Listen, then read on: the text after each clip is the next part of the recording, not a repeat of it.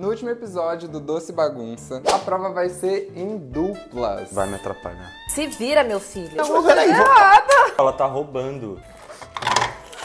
O público votou e escolheu eliminar você, Carol. Eu gastei muito dinheiro pra vir até aqui. Passagem, gastei alimentação. O Júlio Sepp não deu nada pra gente comer, tá bom? Isso aqui é um voto de protesto. Eu não deveria estar saindo agora.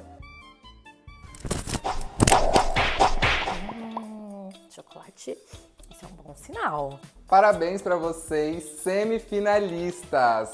Vocês estão super perto do prêmio de R$ 1.500 e para vocês, como é que é chegar até aqui? Ah, é emocionante, nunca imaginei. Tô aprendendo do zero, aprendi muita coisa já. É muito gratificante. Para ser sincera, eu não tava apostando muito em mim, não. Eu achei que eu ia ser eliminado. Eu agradeço a todo mundo que acreditou em mim, na minha simplicidade. Hoje a gente vai ter a prova mais difícil até agora. Vocês vão ter que fazer uma escultura de chocolate.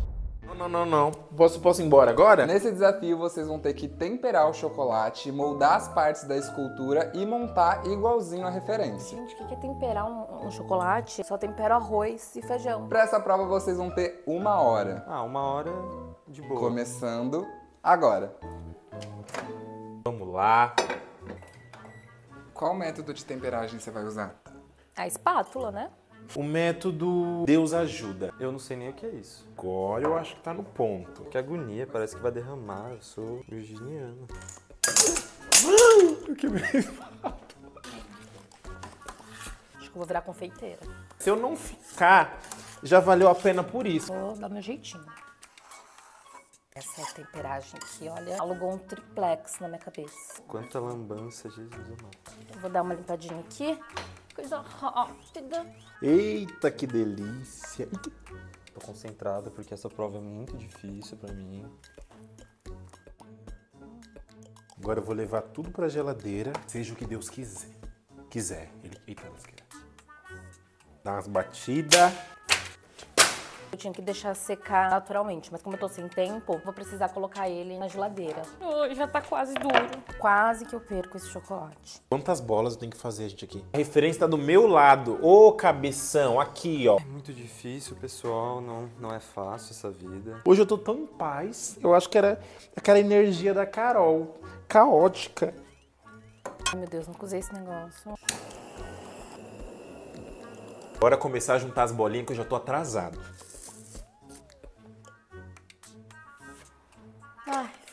Acreditar. Eu não. Essa parte de pintar é bem legal, assim. Gostei dessa parte. Agora eu vou começar a montagem, a parte mais difícil. Jesus, que complexo.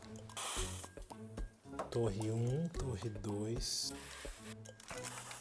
Esqueci de pintar esse. Jesus amado. Gente, eu tô tão nervoso que eu mal tô conseguindo sem falar. E minha orelha tá toda vermelha, olha. Tem alguém falando de mim, espero que não seja vocês. Merda. Gente, aonde? Calma, gente, vai dar tudo certo. Não! Tudo indica que eu vou terminar antes do tempo, então considerem isso.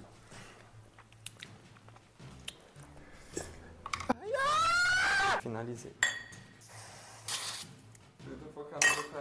Detalhes essenciais.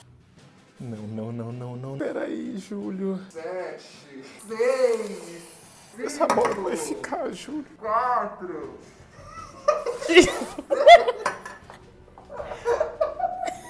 Dois, um. E mão pra cima, mão pra cima, mão pra cima. Feliz assim?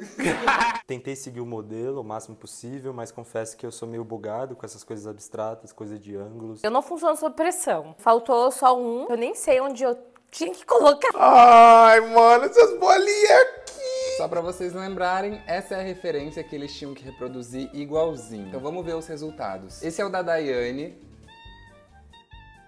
do Léo